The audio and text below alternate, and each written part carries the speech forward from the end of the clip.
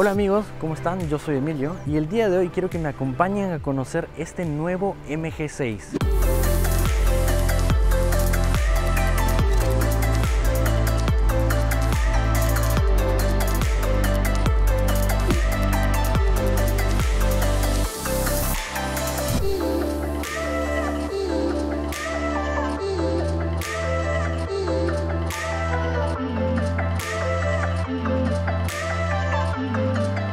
Ante ustedes la segunda generación del MG6, un sedán que a primera vista llama la atención debido a su estilo fastback y gracias a las líneas marcadas, principalmente en el frontal, donde vemos una mirada más afilada, deportiva y a la vez elegante por los detalles en cromo, y el paragolpes con unos detalles esculpidos que albergan a las luces direccionales progresivas. Además de ello, saltan a la vista las entradas de aire, pero lo que atrae la mirada es la parrilla y los faros que le aportan un look imponente. Este nuevo MG6 adopta de manera muy clara el nuevo lenguaje de diseño de la marca, llamado dinamismo emocional, y las líneas fluidas a lo largo del auto hacen que luzca dinámico. Los filos y detalles cromados junto a los aros de 17 pulgadas complementan muy bien este look mientras que la parte posterior destaca por la forma del pilar C, el remate del maletero con un detalle a manera de spoiler acompañado de estos faros que parecen continuar la línea que recorre el lateral del vehículo y le da un toque más elegante debido a su forma. Y por supuesto, ya que estamos ante un sedán con estilo deportivo, los elementos laterales marcados en el paragolpes y los embellecedores terminan de definir su figura. El habitáculo, por su parte, se ve atractivo, muy bien estructurado e incorpora elementos e inserciones que realzan su calidad de acabados y contribuyen a su estilo elegante.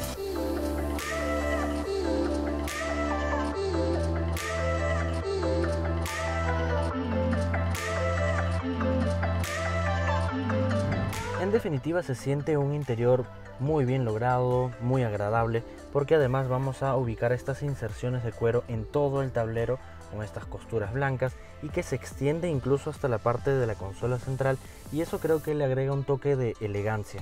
Además vamos a ubicar estas inserciones de tipo aluminio con un diseño muy interesante, se ve bastante bien y que vamos a ver replicado aquí en la puerta porque enmarca al cierre centralizado y a la manija de la puerta. Se ve muy bien. Aquí también vamos a ubicar inserciones de cuero en el apoyabrazos en donde vamos a ubicar los controles para las cuatro lunas que son eléctricas. Ahora, para encender el MG6 solo debemos contar con esta llave en nuestro bolsillo y presionamos el botón que tenemos en el tablero. El timón va forrado en cuero y es muy agradable al tacto. Tenemos estas molduras para poder sostenerlo bien, tenemos cuero perforado y la base es plana. Y no solo eso, tenemos paletas detrás del timón para darle un toque mucho más deportivo.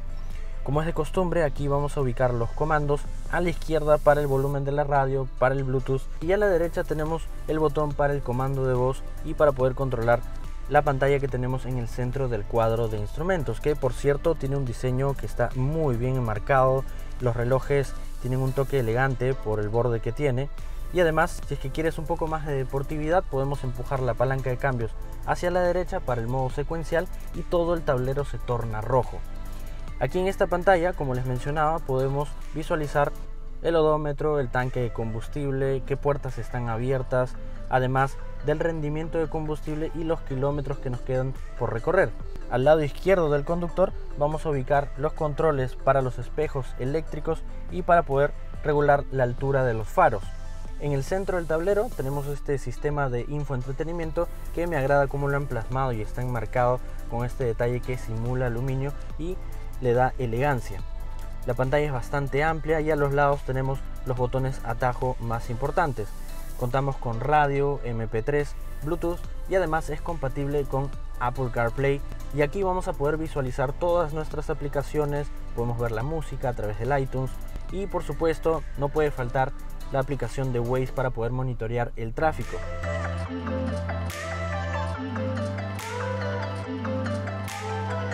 Más abajo tenemos los controles y perillas para el climatizador que es bisona, independiente para el piloto y copiloto.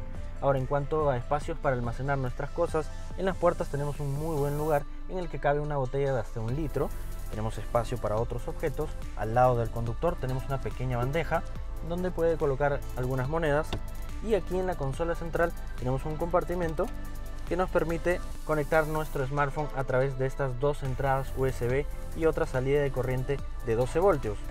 Más atrás tenemos el botón para poder quitar el control de estabilidad y por aquí encontramos una pequeña cortina, la deslizamos y tenemos acceso a dos posavasos.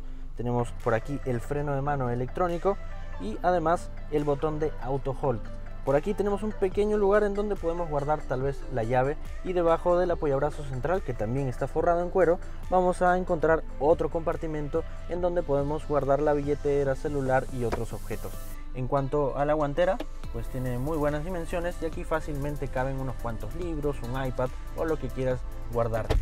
Ahora, algo que me agrada es que en esta versión mi asiento es regulable de manera eléctrica, lo cual es muy cómodo y además contamos con este sunroof que lo podemos manipular desde aquí.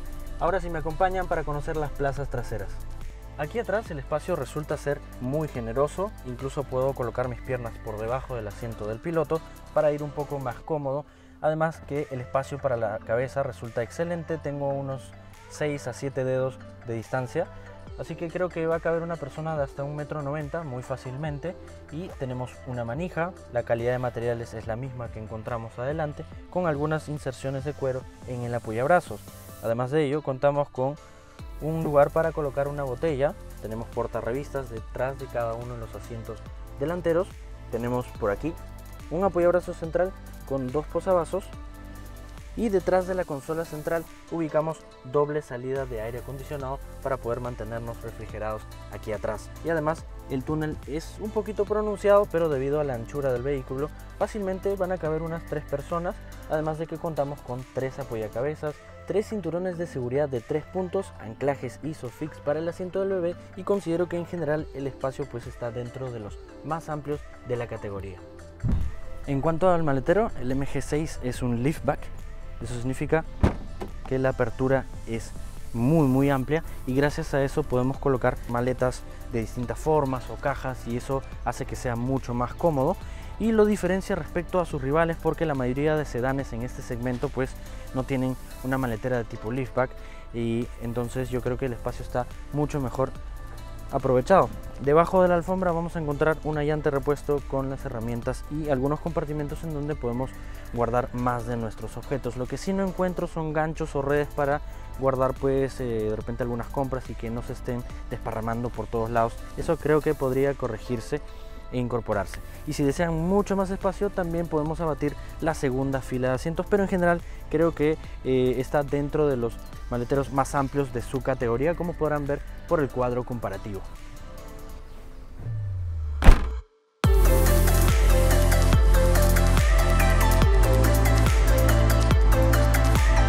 ¿Y qué motor tiene este MG6? Bueno, tiene un motor de Euro 6 de 1.5 litros turbo cargado que produce 166 caballos de fuerza y 250 Nm de torque a partir de las 1700 revoluciones. Y este torque lo vamos a tener disponible hasta las 4300 revoluciones por minuto. Me parece un excelente rango para poder utilizarlo en ciudad. Es un rango muy amplio y por ejemplo, si estamos a 2000 revoluciones, tenemos el torque, o de repente estamos acelerando y estamos en 3000, igual tenemos ese torque. Muy, muy bueno, de verdad y va de la mano de una transmisión mecánica de 6 velocidades o como en esta ocasión tengo la versión más equipada con una transmisión de doble embrague de 7 velocidades.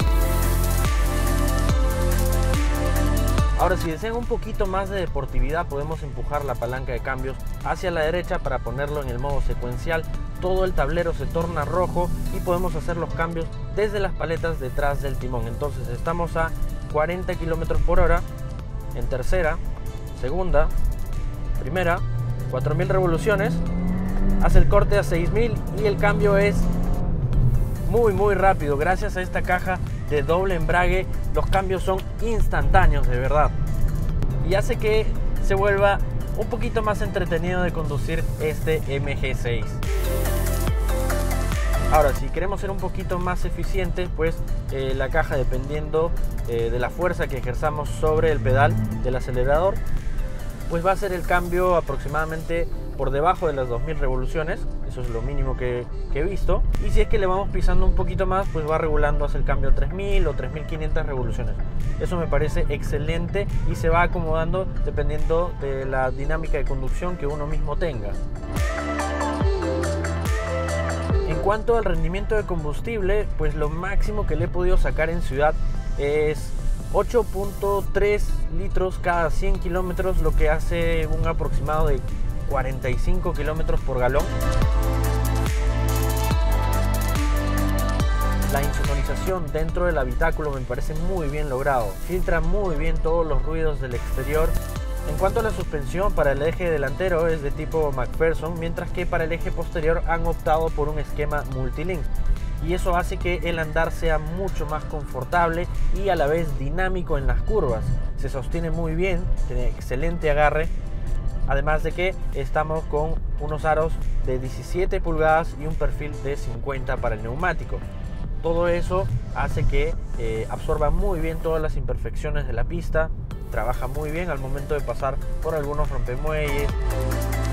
Otro aspecto es que cuenta con el control crucero justo detrás del timón para que podamos relajarnos un poquito y seamos más eficientes, sobre todo en carretera. Y en cuanto a seguridad, viene bastante bien equipado. Tenemos 4 airbags, frenos ABS, distribución electrónica de frenado, control de tracción, control de estabilidad, un sistema de arranque en pendiente que le llaman el hill hold y además contamos con un control de frenado en curva y cuando realizamos una frenada de emergencia las luces intermitentes se encienden. En cuanto a los frenos, son de disco ventilado para el eje delantero y disco sólido para el posterior y de esta manera nos asegura una frenada contundente. Y algo muy interesante es que cuenta con un sistema que limpia los frenos. Por ejemplo, en Lima, que hay mucha humedad o cuando llueve, pues se mojan los frenos y no permite una frenada segura. Entonces este sistema hace que se limpien y nos permita tener una frenada bastante severa, muy segura, precisa. Ahora, en cuanto a los puntos en contra, bueno, principalmente es el rendimiento de combustible. Creo que para un motor de 1.5 litros turbo eh, debería estar andando por los 50, 55 kilómetros por galón. Eh, eso sería lo más eficiente, creo yo. Eh, en ese sentido hay algunos rivales que, como por ejemplo el Volkswagen Jetta o los motores de 1.4 litros TSI del grupo Volkswagen son un poquito mejores, pero por supuesto tienes que pagar un poco más. ¿Cuáles son sus rivales en este segmento? Tenemos al Mazda 3 en las versiones más equipadas, pero el MG6 es un poco más largo, ofrece un poco más de espacio. Después el Volkswagen Jetta, tenemos al Honda Civic, que también es un liftback, compite directamente con este y también tiene un motor de 1.5 litros, pero por supuesto cuesta por lo menos unos 4 mil dólares más. Eh, va a depender de ustedes lo que necesitan. Otro detalle que me hubiese encantado encontrar son materiales blandos en toda la parte superior del tablero para que se diferencie un poco más y ofrezca un poquito más de calidad de materiales. Ahora, en las plazas traseras eh, el túnel es un poquito pronunciado, puede ser un impedimento para el ocupante que va en el medio, pues va a ser un poquito incómodo. Y no encontré entradas USB o una salida de corriente de 12 voltios en la parte de atrás. Debería incorporarlo para que todos estén cargando su smartphone. Y por último, en la maletera eh, notamos que solo trae una llanta de repuesto que solo de emergencia debería ser igual a las demás. Y me encantaría encontrar una red para que sea un maletero mucho más práctico. ¿Y cuál es el precio de este MG6? Bueno, parte desde los 18.500 dólares aproximadamente y va hasta los 21.490 dólares. Ya saben que los precios se los dejo en la descripción para ser mucho más preciso en el precio. ¿Y a ustedes qué les ha parecido este MG6? No olviden de dejar sus comentarios en la parte de abajo y suscríbanse a nuestro canal dándole clic a este botón y por aquí les voy a dejar más de nuestros videos. Nos vemos en el siguiente review.